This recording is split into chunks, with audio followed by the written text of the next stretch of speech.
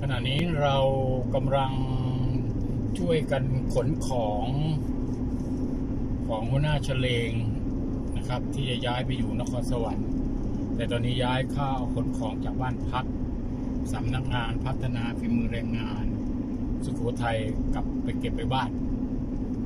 นะครับ วันนี้นะครับ เดี๋ยวต้องมาอีกเที่ยวหนึ่งรถชนาดก็ได้ความอนุเคราะห์จาก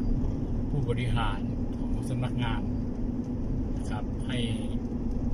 คนสวนนะครับ ช่วยกันขนก็มีเยอะ ไม่เยอะเท่าไหร่นะก็คนสองเที่ยวนะครับ